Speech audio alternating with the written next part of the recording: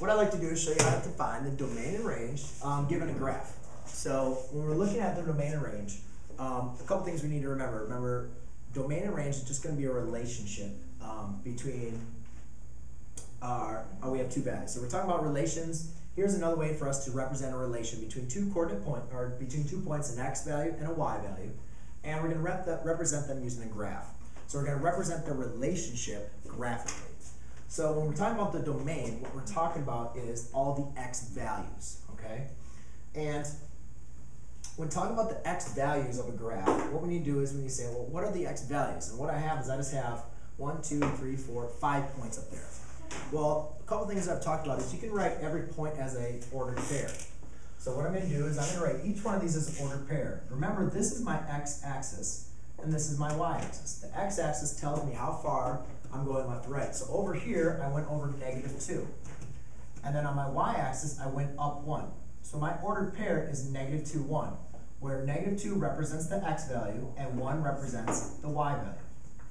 Over here, I have a negative 1, 1, 2, 3, 4, 5. Over here, I have 1, comma 2, 1, 2, 3, 4, 4, comma 1. And here it goes down um, 0, negative 2. Okay, because I didn't go left or right anything, so that's why x is 0. So if you remember, every coordinate point can be rewritten as x, y. I can write my domain is all of my x values.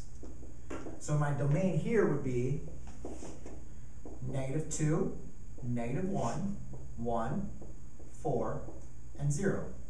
And over here, my range is going to be all the set of y values. So it's going to be a 5, 1, 2, 1, and negative 2. All right? Over here, I have a continuous function. And one thing I did is I, I labeled out a couple points so you can see them. Here is going to be 0, 3, 1, 4, uh, negative 2, 0. And here I went 1, 2, 3, 4, negative 4, 1, 2, 3. Okay. So I labeled out a couple points. Over here, we obviously know these are the only points on there. But what you notice between here is, between each and every one of these points, they're connected. Meaning, there's infinite number of coordinate points I could direct, right? I only picked out a couple of them. But there's infinite. There's infinite many points between these two points.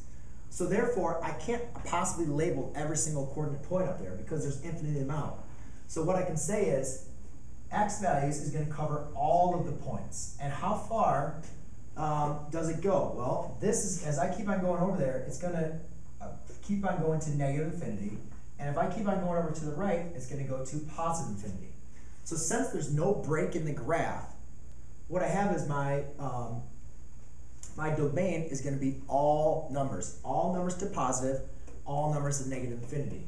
So I, what I can do is I can write my domain is you could say all real numbers or from negative infinity to infinity.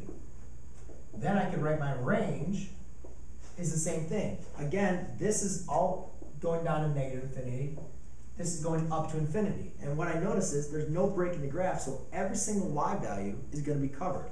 So my range will be the exact same thing. All real numbers or from negative infinity to infinity. So that's how you determine the domain and range when given a graph.